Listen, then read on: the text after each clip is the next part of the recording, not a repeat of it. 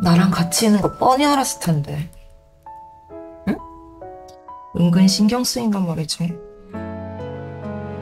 아이, 혜리랑 나랑 알고 지낸 지 10년도 넘었어. 그런 걱정하지 마.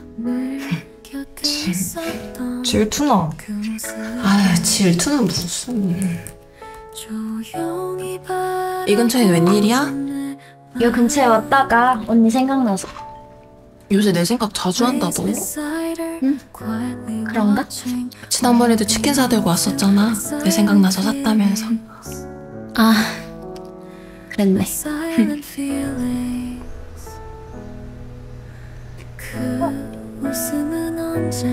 안녕하세요 어, 안녕? 웬일이야? 소율 언니한테 줄 게 있어서요 아, 줄 게 있어서 집까지 찾아왔어? 네 뭐 얼굴도 볼겸 지극정성이네. 네? 너가 소율이 생각하는 마음은 고마운데 적당히 해. 생